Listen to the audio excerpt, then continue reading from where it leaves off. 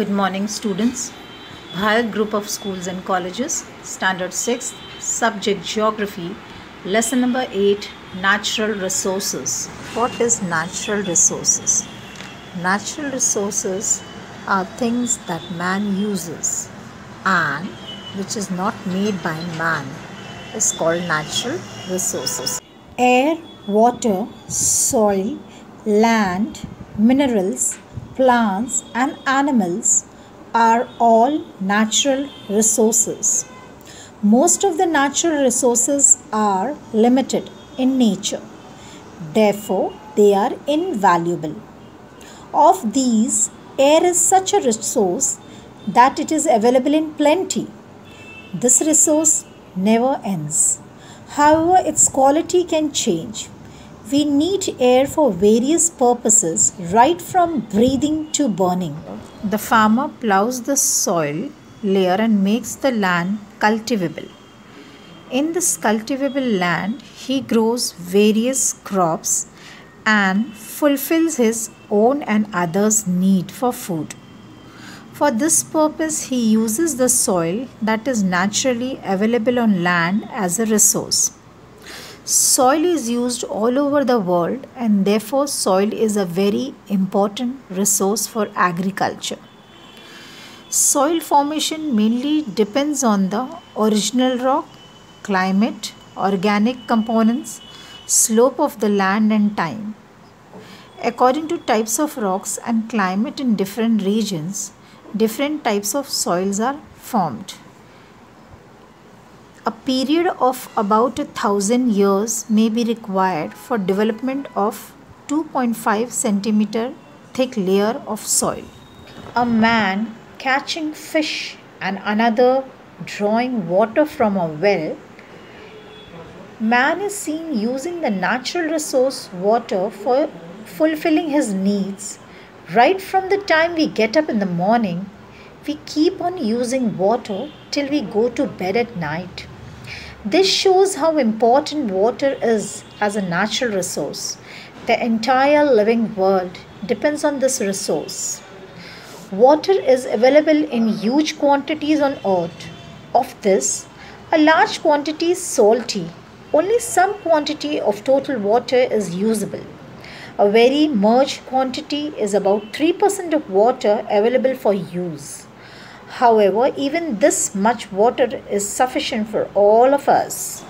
Individuals collecting wood from the forest and collecting items in the forest like honey, resin, rubber, latex.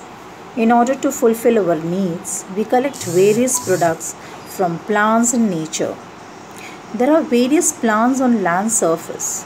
Plants are broadly classified as grass, herbs, shrubs, and trees. Man has successfully experimented with some grasses to obtain food grains. This helped him to avoid painful wandering for gathering food. He began to live a settled life. The basin of the Huang He, Sindhu, Nile, and Euphrates are some of the areas where such settlements flourished in the past. We obtain products like wood, rubber, resin, fruits, medicinal plants from forest. If we consider the region from the equator to the poles, as per the temperature zones, we find the following types of natural vegetations. For example, we have equatorial evergreen forest, deciduous forest, tropical grasslands, thorny shrubs, temperate grasslands, mixed forest, broadleaf forest, coniferous forest, and tundra region. Many animals make these forests their habitat. Animals who prey on the plant eating animals also live in this forest. Thus, many food chains develop in the forest. Forest or grasslands are the habitats for many animals. It is basically due to plants that we have got animals as a natural resource. Plants also grow in water. It is very likely that in future we shall have to depend on aquatic plants for fulfilling the needs of the growing human population.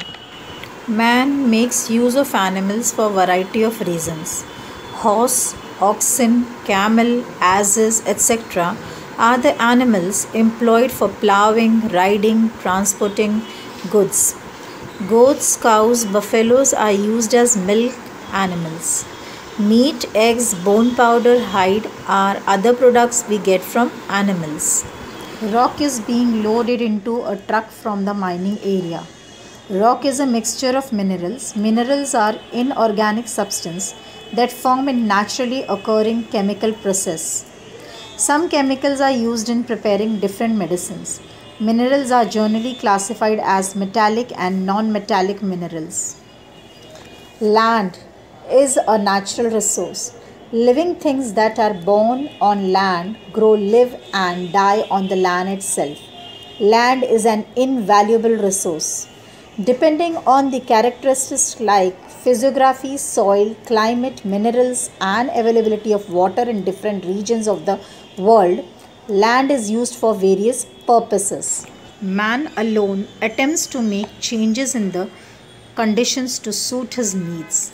Every living things make use of natural resources according to its need. Man started using many of these resources for himself alone with the help of his intellectual power.